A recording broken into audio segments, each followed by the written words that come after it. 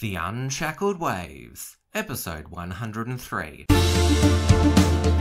Broadcasting from Melbourne, Australia, this is The Unshackled Waves with Tim Wills, brought to you by theunshackled.net.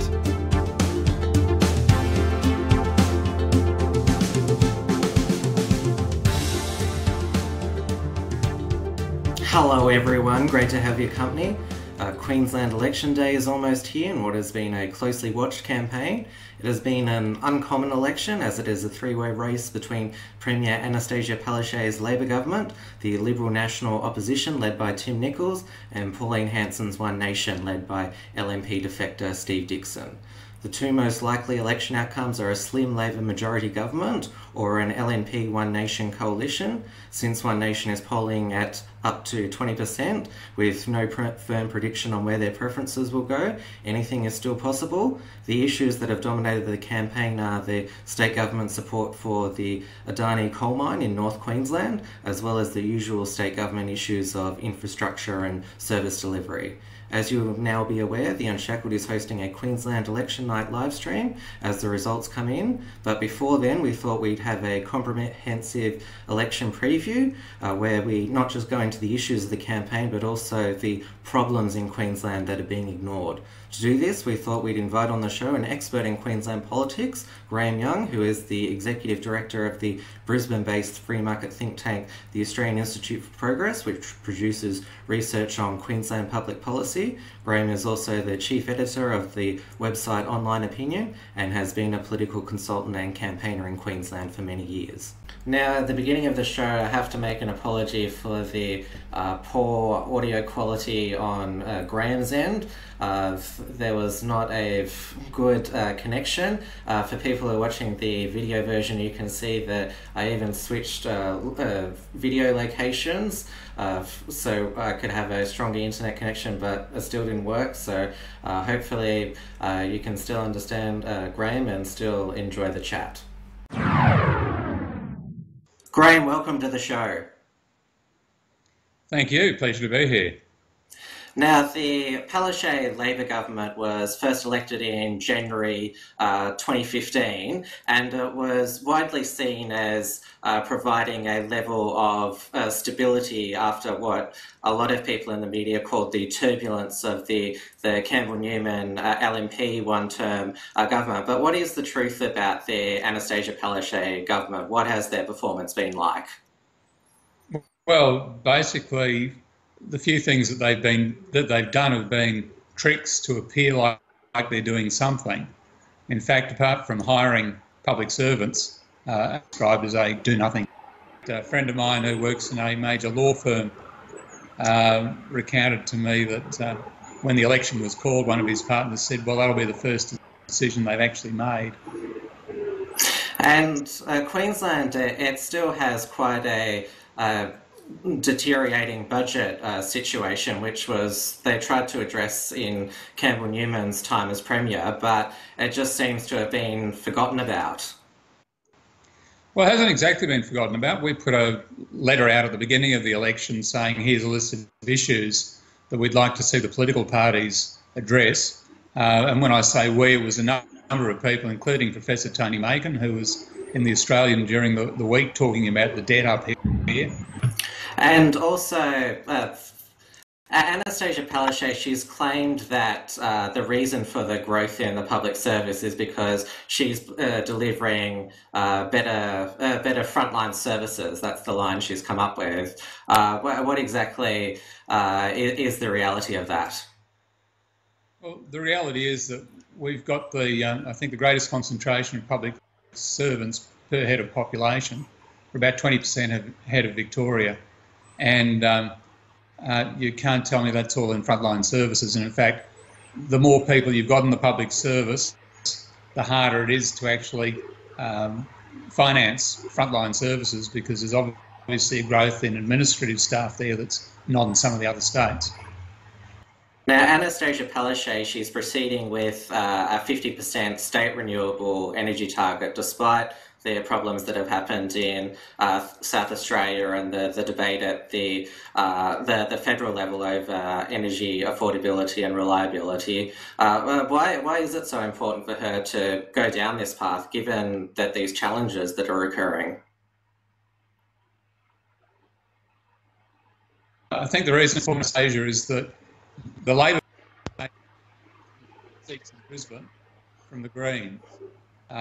Uh, the seat of South Brisbane, which is the seat that Jackie Trad, who's the Deputy Premier, and some would say the real power in the government holds. Uh, seat of Maiwar, which is held by the Liberal Party, Scott Emerson, uh, and then the seat of um, uh, what's it called? Um, it's, a, it's, a, new name, I think.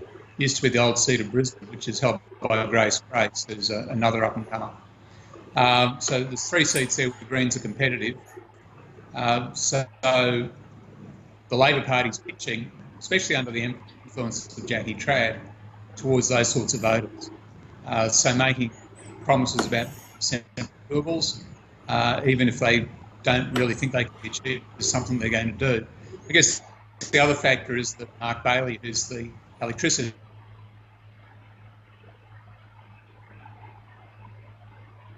of what they're doing on these issues uh, was quite clear on Monday. Uh, our institute brought out a report. It's based on AEMO modelling, so it's the Australian Energy Markets or Operator uh, modelling, which shows that to get 50% renewables, you've got to close a number of power stations. That wouldn't be news to most people that if you're going to have point of 50% renewables is you are going to close power stations. That's the whole reason you're doing it. Um, but they didn't want to admit that because that might cause problems in the areas where the power stations are. So you had Bailey on radio saying, we're going to make 50% renewables and we are not going to close a power station.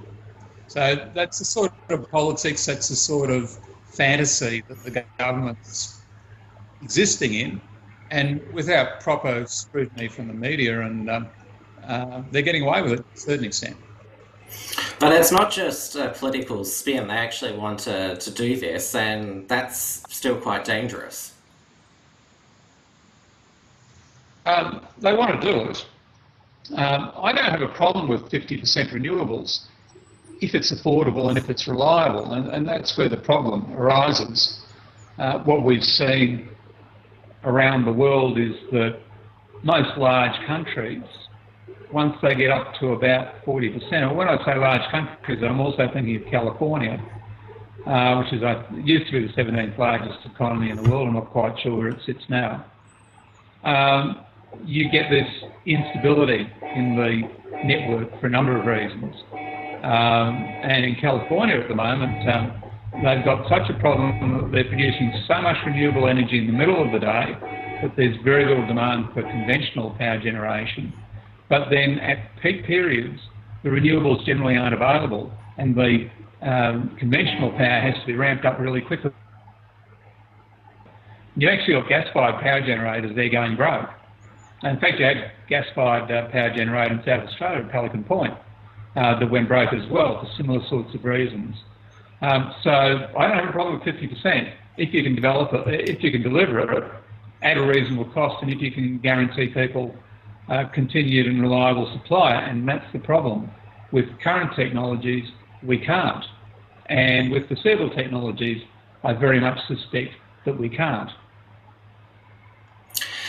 And what a lot of people don't know about the uh, Anastasia Palaszczuk government is that it actually was a minority government. The 2015 election was a, a hung parliament with the uh, balance of power being held by an independent, uh, Peter Wellington, who supported Labor. Has that had an effect on the, the government to uh, legislate effective policy?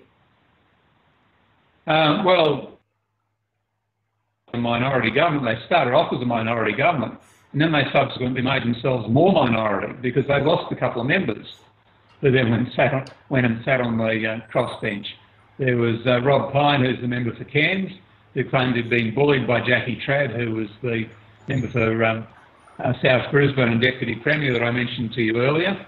Uh, they lost Billy Gordon, who's the member for um, Cook, um, over a number of issues to do with uh, alleged spousal abuse and non-payment of um, um, child support payments. So they went from being vaguely minority to significantly minority. But the fact of the matter is that the minor parties, which is the Katter Australia Party, uh, and, and then the independents, and that includes the Speaker, Mr Wellington, have supported them sufficiently that they've got most of what they wanted through. Um, as we find with minority governments all around the country, that parties and major parties can actually make accommodations and, and run a government which is, is reasonable and a government which large slices of the public actually likes to see because they feel they've got perhaps a little bit more control over it. Now, the Liberal National Party, they were quite shaken when they uh, were turfed out of office after one term, despite winning 78 out of 89 seats in uh, 2012. They, they claim that they've learnt their lesson from, from the Campbell Newman years and they're, they're going to do things differently if they uh, back, get back into government uh, this election. But what what exactly have they learned from the Campbell Newman years? Is it the right lessons, in your opinion? Um, well, I think the major problem with the Campbell Newman period was well, there were two major problems. One was failure to communicate that there was a problem that needed to be fixed in the first place before coming along with a solution. And the other was just trying to do everything at the one time. Uh, and the problem with that was that at certain times it produced a sense of chaos, um, and at other times it um, produced a, um, a, sense of, um, um, well, the, the community was in turmoil. So there were three or four agenda items on the go at the one time, and it was relatively easy for the Labor opposition and their union allies to kick up a, a fuss on all of those issues, um, and it made it look like the government was at war with the community, when in fact the community was, by and large, I think, happy with the measures. They just weren't happy with the way they were being implemented. So I think they have learned from that process. Uh, it's just a pity that they didn't learn this other side of the last election rather than this side. And the other factor is that Campbell Newman's not there anymore. And one of the things I realised when Campbell went was that it was like taking the Energizer uh, batteries out of the Energizer bunny. Uh, the whole thing slowed down completely. Campbell was the big um, benefit or the big weapon that the previous government had, and he and he was the, the Achilles heel. He was both. He made them what they were. He made them electable, but he also made them unelectable. Obviously, after uh, Cam- Campbell Newman at 2015, he, he lost his seat, so that was uh, the end of his political career. And then the uh, the LNP, Lawrence Springborg, was the the leader for a while. Then we have uh, Tim Nicholls, who was the treasurer uh, under Campbell Newman. Uh, so, what is the the policy platform that he's taken to to this election, and what's he promised to do differently? Uh, well, I think one of the problems he's had is that they ran away from Campbell's legacy as well as Campbell. Um, so, to a certain extent, this election's been fought under a Labor agenda. Um, so they allowed the Labor Party to demonise a lot of the things that they did. Particularly the idea that they might have a sale and lease back on some assets, which would have provided Queensland with money to use for much needed infrastructure development and a number of other things, plus uh, paying back some of the debt. So they allowed that to be demonised. They accepted the uh, discourse that the ALP was forcing on them that this was a bad thing to do, even though uh, exit polling that I did after that election showed that only about 14% of people made a decision on the basis of asset sales. And those people were mostly people who were already going to vote Labor. So it wasn't a vote changer. It wasn't the issue that made the difference last election. But they ran away from that. And what that's meant is that a lot of the things that they needed to talk to electors about because they need changing, they basically accepted that they would have to remain. So today we've had two budget costings come down, one from the government and one from the opposition. They're quite similar. The difference is that the government's actually increasing taxes uh, on a few wealthy minorities, like people that own buildings over $10 million or people that buy cars worth $100,000 or more. And, pardon me, the opposition uh, has produced a budget which uh, gives them savings over the ALP of about 600 million. Uh, most of that's achieved by doing away with one capital works project of the government, which is the Cross River Rail Tunnel, and also looking for a 1% efficiency dividend out of the uh, public service, which should be reasonably easy to achieve.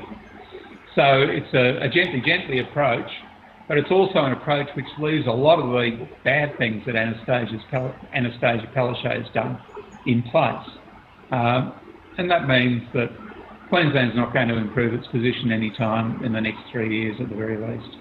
Now, obviously, in Queensland, it's called the Liberal National Party because there used to be the Liberal Party and the National Party, but they made the decision in it was uh, 2008, uh, I believe, when they decided to uh, merge. Now, you're actually a former uh, vice president of the the Queensland Liberal Party. Has the merger worked out because it still doesn't exist at the federal level. LNP federal members can choose to caucus with the Liberal or National parties. How uh, in 2017 has it been a smooth merger now?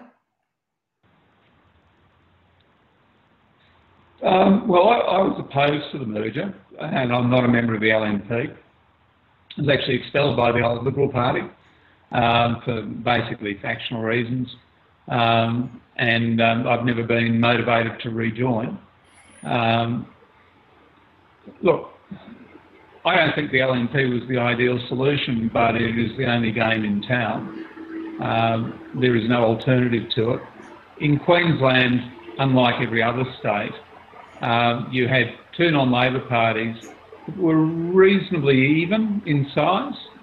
Um, so there was a lot of jockeying to see who could actually run the show. It ended up being the National Party, but they were the rural, not the metropolitan uh, non-Labor Party. And but as a result of running the government, most of the funding went to them. So they actually had the strength over the Liberal Party to uh, campaigns. So there was tension through the um, well, the 60s and the 70s. Once J.B. Bjelke-Petersen got there, it was fairly friendly in, the, in 57 when uh, it first came together. Um, worked reasonably well, I think, um, up until the probably the early 80s. Um, then in 83 there was a split in the coalition. The Liberal Party actually went to the crossbench. Um, and they had, I think it was nine members at that stage. It then subsequently went down to six. At one stage they had three members in Parliament. The Liberal Party almost disappeared in the state. They subsequently came back and, and had more members, but they were always more fragile. The National Party had safe seats. Even in a bad election, they'd still maintain most of their strength. Whereas the Liberal Party had most of the swinging seats. So what would happen is in a bad result, the Liberal Party would go right down. In a good result, they'd have almost as many seats as the National Party been saying, well, why shouldn't we have more say in government? Um, so that relationship had to be managed uh, in the 95 election, when I was Vice President, um, we had quite a good coalition relationship with, with, the National Party. And in fact, we did the strategy for the campaign. Um, so that worked well. Uh, but then after the 98 route with uh, One Nation coming in and uh, uh taking a lot of seats from us and the ALP, uh, five from us and six from the ALP, I think it was. Uh, and then we went into opposition. Then the old tensions resurfaced, and, and Lawrence Springborg um, campaigned to bring the two parties together again, which he managed to do. And um, he pointed out to me when he launched uh, the Menzies Research Centre book, I think it was called the, the Forgotten Speeches. He launched them in Brisbane for the Menzies Research Centre, and I said, Lawrence, you're a Nat. What are you doing launching this book of liberal essays? And, you know, Robert Menzies regarded his work as unfinished. He wanted to bring the country party as it was then into the tent. He said, I finished Robert Menzies' work. Um, and I think that, you know, that said something about Lawrence and his approach, and where he actually saw himself on the political spectrum. Um, so that's what we've got at the moment. Um, but I think there is a bit of leakage around the edges in that the old coalition arrangement allowed the National Party to pitch for a demographic that the Liberal Party couldn't comfortably get and bring it across to the, the Liberal Party in the cities. And it also allowed the Liberal Party to, to pitch for a demographic that the Nats couldn't necessarily get too easily and bring it across to the, the Nats in the country. So it was a good arrangement. Um, some of those people have peeled off and they're now in One Nation or the Katter Party. Uh, so that's creating some issues, but you're not going to pull the parties apart again. You're not going to go to a situation that you've got in New South Wales or Victoria or Western Australia. Uh, but in those states, it's completely different because the Liberal Party is quite clearly the dominant party, and there's no chance of the National Party ever challenging that dominant position. So the National Party in New South Wales has resigned to that. In Victoria, you get the occasional breakouts, and um, South Australia, the Nats virtually don't exist. In Western Australia, they go feral on the Liberal Party from time to time. It doesn't matter that much because the, the Liberal Party's stayed dominant. The One Nation factor is strong in Queensland. They've been polling at around 15 to 20% of the uh, primary vote. Now, Queensland doesn't have a uh, upper house, so it's difficult for minor parties to uh, get elected. But given One Nation is polling so strongly and in specific areas, they've got a good chance of picking up. Well, Pauline Hanson, she set a target of a dozen uh, uh, seats uh, in the 1998 state election, uh, One Nation, uh, 111. So they have done it before. But why are they so popular in Queensland? I mean, what exactly do they stand for that uh, that appeals to voters? Um, well, they're, they're, a protest party. They're a party that stands for none of the above. They used to have a phrase for the Labor and Liberal parties. They used to call them the Labor Party. Um, so that's where they sit. Um, if they get too close to government, it damages their support. And you saw that in Western Australia where they actually did a deal with the Liberal Party and it took the top off them. Uh, they still polled creditably, or as well as it looked like they were going to poll. Um, but I think there's, there's some considerations that you, are missing there, Tim, um, and that most commentators are. So in 1998, when they got 11 seats, they polled about 23% of the vote. At the moment, the latest uh, ReachTEL, I think, had them on 18%. But, and this is the critical thing, it had the Katter Australia Party on about 4%. And the Katter Australia Party didn't exist in 1998. So you add them to One Nation, you're up to 22%. You're in very similar territory to where One Nation was in 1998. It's just spread over two parties, but they're two parties which have uh, come to an accord and are swapping preferences. So they obviously see each other as fairly similar, and standing outside and looking at them, uh, I can't tell the difference. Uh, the only difference is the Katter Party and the One Nation Party have two different numbers. But when you look at their agendas, they're very similar. Um, so that's one factor. The other factor is that in 98, the major parties, and there were three of them because the Liberal and National parties hadn't merged, they added up to 70%. In the most recent polling, they only add up to 65%. So that means that there's more potential for third parties to sneak into second place. So it's not likely that One Nation's going to win a seat on first preferences. They're not polling high enough for that. And in fact, in 98, there was only one seat they won on first preferences, and that was Barambah, which was Joh's old seat. But there were special reasons for that, um, which aren't being repeated this elector, uh, election. Um, Barambah is uh, now the seat in Nanango, which is held by Deb Frecklington, who's the LNP deputy. but it's, it's an entirely different story there. So there's no show of One Nation winning that seat. Um, so everything else was done on preferences, with the major party vote being depressed on both sides. You know, Labor Party might be on 35% or 33. The Liberal Party might be on 31. You know, they are terrible first preferences votes for parties that see themselves as major parties. You can't win government without a whole string of things going away from that sort of first preference vote. What it means is that it's easier for these minor parties to get into the second spot and then with preferences leapfrog over number one to win the seat.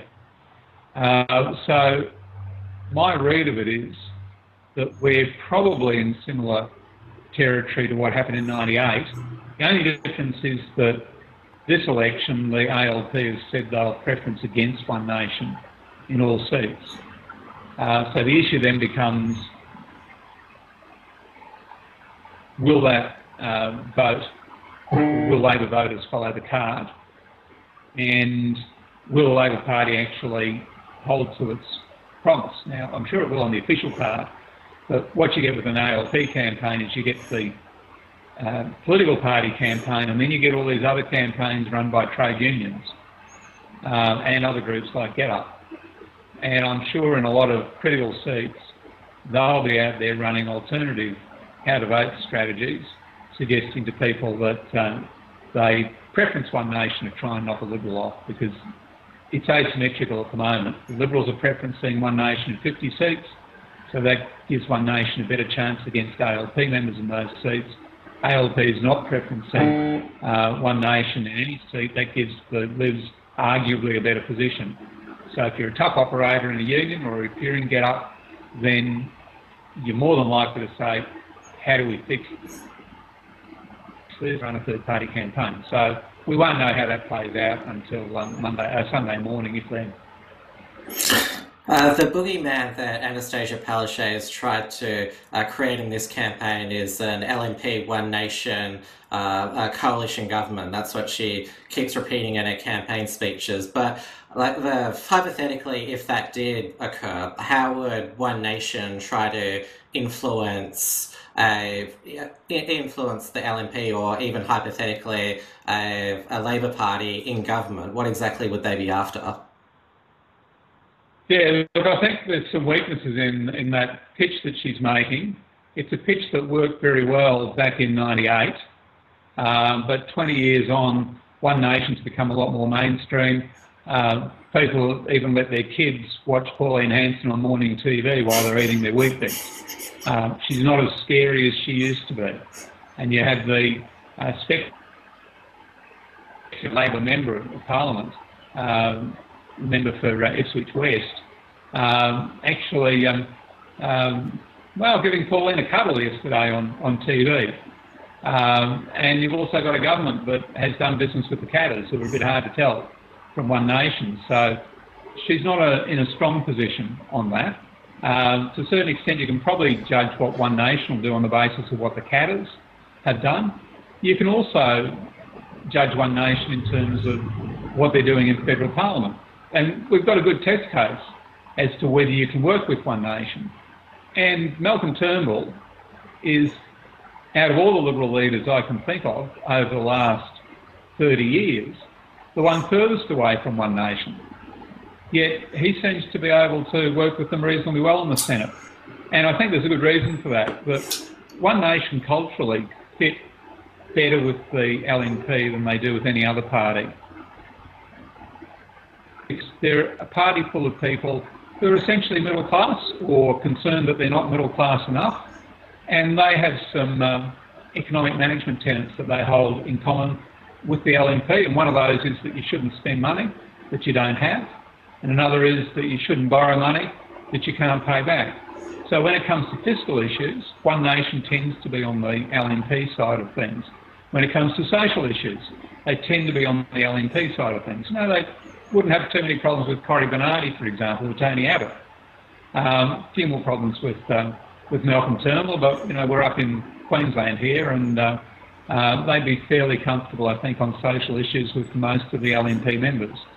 So it really only comes down to issues like immigration, where there might be some tension, and, and these days their concern with immigration is with Islamic immigration, and that's widespread across the community, across the left and the right from polling that I've done. Know, Islamic community friendly, they're not women friendly. So even Greens voters are a bit concerned about uh, Islamic immigration. So that's a different issue. And then there's the protection of so-called populist issue. Well, if you look at the way the Labor Party is conducting itself at the moment, it's moving in the protectionist direction. The state government here uh, introduced a preferential purchasing policy for state government uh, purchases, which gives manufacturers and suppliers from Queensland up to a 30% pricing advantage because just because they live locally and is in breach apparently of our free trade agreement with New Zealand. Did Anastasia Palaszczuk care about that? No. Um, did the public care about it? Well, they didn't appear to.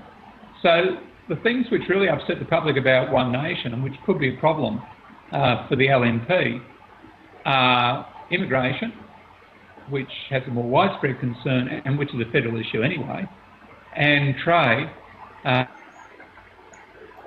are than a state issue, um, but where you've already seen the influence of that on the, the state uh, government and it hasn't created a public outcry. So, you know, I think there's, a, as you said, there's a boogeyman there, uh, but the reality behind the boogeyman is that when you look at them, they're pretty much like the rest of us. Let's talk about some of the issues of the campaign. Now, probably the one that's uh, been reported on the, the most is the uh, Queensland uh, government's support for the Adani coal mine in North Queensland. Uh, Anastasia Palaszczuk, she made the uh, decision to veto a, a federal uh, loan, and we, we talked a bit earlier about that, that Labor are under threat from the Greens in the inner city, which is uh, one of the reasons they're they're going cold on uh, Adani. Um, is this a important project for for Queensland? Uh, yeah, the Adani project is, um, particularly for regional Queensland. Uh, it's important on a number of issues. There's an employment aspect to it. The Greens will tell you that the employment figures are overstated. Um, they possibly are, but they're, they're not inconsiderable and they're not limited to the people that work on the mine. Know, a lot of people in Brisbane, a lot of professional people in Brisbane make their money out of the mining industry. So that's number one. Number two is that the Carmichael mine, which is the Adani mine, is in the Galilee Basin, which is a new coal province in Queensland. The railway line, which is causing the controversy, will be for the use of Adani and the five other companies that have mines and they can start. And one of the things about mining is that without the infrastructure to move your minerals to somewhere where they can be processed and exported or used in some other way, you don't have an asset. So the fact of that railway line going in, which depends on the Carmichael mine going ahead, uh, means that there's another five companies uh, most of them Australian, who will suddenly have a, an asset value there that wasn't there before, and they'll be employing Australians, and they'll be earning export income. So that's the second thing. The third thing is the issue of sovereign risk. Um, we're hollowing out our economy at the moment. There's fewer and fewer people in manufacturing, the sort of manufacturing that used to uh, employ men particularly, you know, skilled manual workers. Um, we rely on our mineral exports and our agricultural exports for our standard of living. Um, and, and that means we need to develop as many of them as we can. We can't do that on our own capital. We need to import capital from around the world. And that's been the history of Australia for 200 years, that we've got ahead by bringing capital in. Um, but that capital doesn't have a shortage of places that it can invest. And if we make it too difficult if we make it unreasonably difficult for them to bring the capital here, they'll go elsewhere. The jobs will go elsewhere, and our standard of living will go down. Uh, so there's three good reasons why it's an important project, and they're not just to do with jobs in the local area. And obviously, at the state level, uh, infrastructure is is talked a lot about, which is uh, a lot of the time a, a buzzword. Uh, but what, what's the reality on uh, like who, uh, where does the infrastructure need to need to be, and who is uh, pr- promising it in the, the right areas? Um, well, Queensland, up until recently, has had some of the fastest population growth. And Australia has, I think it's the fastest population growth in the OECD. It's one of the fastest population growths in the whole world. Um, and you need the infrastructure to keep up, and it hasn't been. And it's, it's actually, population growth is a policy that's set by the federal government, but the cost of it, of accommodating it, is mostly borne by the state governments. Uh, we see part of that reflected in rising house prices as by no means not the only reason the house prices are rising, but is a, a problem supplying enough housing. Um, but in the areas where we have supplied enough housing, there's a problem supplying enough roads uh, and also schools and hospitals and those sorts of things. So infrastructure is, is definitely uh, if you live in southeast Queensland, when you try go, to go north and south of Brisbane, there are issues on the M1 in both directions um, from Brisbane down to the to the New South Wales border, and from Brisbane up to the Sunshine Coast. So there's a desperate need to fix that up. Uh, there are. It's not just the time that commuters are spending on the road; it's the time that the trucks carrying goods and so on are spending on the road. That is a, a dead weight on the economy. Um, but North Queensland also has a desperate need of um, infrastructure. Know, the, the, Bruce Highway, which is the main highway into Townsville, when you get, get a decent downpour of rain, it floods. You know, can you imagine? Here is the largest city outside Brisbane, and the main highway into it, when you get a decent downpour, floods. No wonder they're upset and looking at voting for One Nation. So, you know, that's an infrastructure issue. There's water problems in, in a lot of the states. We haven't built a decent dam since Wivenhoe, and that was 1986 or something like that the population in the meantime has ballooned perhaps 50%. Uh, so the LNP are actually promising dams. That's a problem for the ALP because uh, Greens don't like dams. Uh, I'm not sure what their alternative is, probably solar uh, powered uh, desal plants, but uh, the best solar powered desal plant in my view is uh, rain which falls into a dam, and the, there's a need for that. There's a need to develop some of our agricultural areas so that they can be more productive and again contribute to the, the export. So yes, infrastructure is a, a big issue in this campaign, but the parties have constrained themselves by ruling out asset recycling as a way of funding the new infrastructure. So there are assets that they could sell, uh, but both sides, uh, for different reasons, have sworn off from it, and that gives them a problem. Uh, so which has managed to sell or recycle some of its assets, it's powering ahead, doing all sorts of capital works which will make the uh, city of Sydney and, and, the surrounds much more attractive for investment. Uh, Brisbane, Queensland is not doing that work, can't afford to, and in the long run that will be a drag on the state and, and that will be a problem for everyone. Now, to finish off, I'll uh, ask you to give a brief overview of the campaign performance of the, or not two, but three leaders. And uh, if you're only if you're comfortable, I'll ask you to make a final prediction. Sure. Okay, so you want an overview of the way the campaign's been run.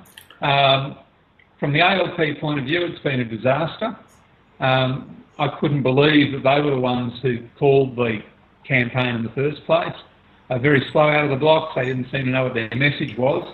And then they got sideswiped by this week over Adani, uh, which is an issue which um, uh, is about jobs in North Queensland, and you've got to be in favour of it up there. But in a lot of the southeast, particularly the seats where the Greens are, it's about climate change, and you've got to be against it. So they were derailed on that issue for a couple of weeks. Um, they've done a bit of a makeover of the Premier. Uh, and in my view, they've made her a little bit too much like Kim Kardashian. It just doesn't gel. It doesn't look, in an election where people are looking for authenticity, um, it doesn't look good to suddenly change the way you look and, and start wearing a whole lot more makeup and so on. Got accused of being misogynistic the other day on radio. Reminds me of the real. Julia. It's it's just an observation that you know, no matter how much you dislike it, when a woman changes the makeup, she's doing it for a reason, uh, and in this case, it's been poorly judged. Um, so they they sort of hit their stride in the last couple of weeks. Um, there's a heavy negative against Cameron, and Campbell is the is Banquo's ghost um, at this um, at this particular feast. Um, but you know, they haven't really given anyone a reason to give them a larger majority. They basically tried to run on their record, but they don't have much of a record to run on, so it doesn't work too well. So on the other side, you've got Tim. Now, Tim doesn't look particularly authentic either. Um, he looks like what he is, a suburban solicitor. He has trouble getting out of his suit and tie. Um, and, you know, I think his ties are pretty ordinary. Um, uh, he needed to somehow distance himself from the Newman legacy. So he needed to, to give a heartfelt apology. Now, we know what that looks like, and in fact, um, uh, John Alexander has, has given a pretty good apology today for uh, an off colour joke that he told 20 years ago when he was uh, much younger. Um, Tim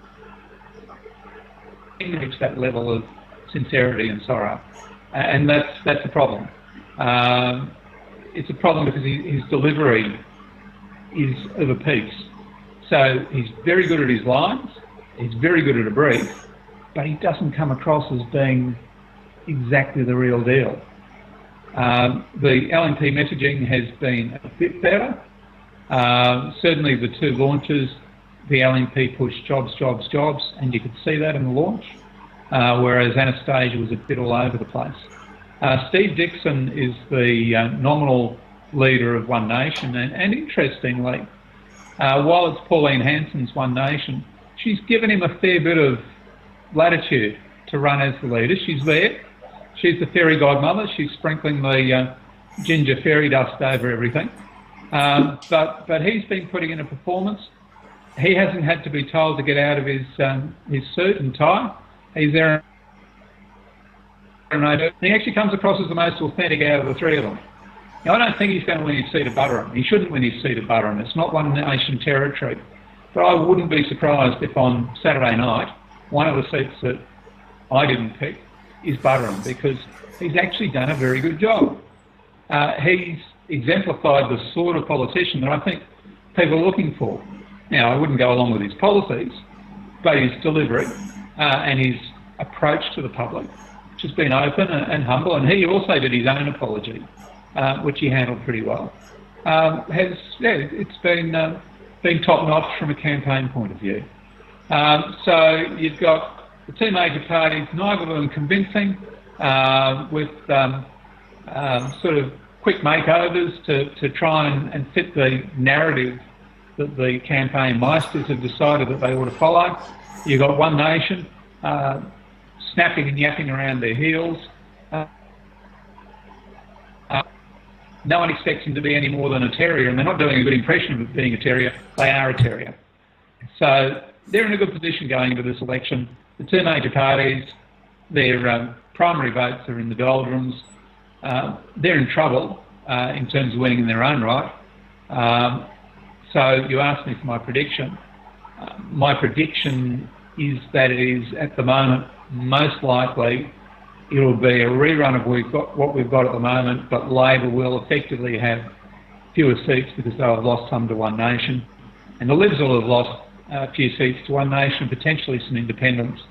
Um, so it will possibly come down to the Katters and maybe One Nation as to who forms government. Uh, um, but I've got a, uh, a feeling that um, Anastasia Palaszczuk is the one they're more likely to go with. And despite her promise that she won't do a deal with One Nation, she said exactly the same thing about independence and my before the last election. She's in government now, so she's got a track record. Well, Graham, I appreciate you offering your insights. So thank you for coming on the show today, and it'll certainly be a fascinating election night. Absolutely, a lot harder to pick than any other that I've uh, I've looked at. All right, everybody, that's the show for today. As I mentioned at the beginning of the show, make sure that you join us for our Queensland Election Night live stream, which is Saturday, the 25th of November 2017, starting at uh, 6 pm Australian Eastern Daylight Savings Time. Queensland is uh, an hour behind, so that'll be uh, 5 pm Queensland time. We'll be broadcasting on Facebook Live via the Unshackled Facebook page, and we have also set up a Facebook event page where we'll post updates about our coverage, so we look forward to seeing you then. Thanks once again for your company, and we'll see you next time. Thanks for tuning in to the Unshackled Waves. Please visit theunshackledwaves.net for all the ways to subscribe and follow the show. Don't forget to pick up your free ebook at theunshackledbattlefield.net and keep checking out theunshackled.net for all the latest news and commentary.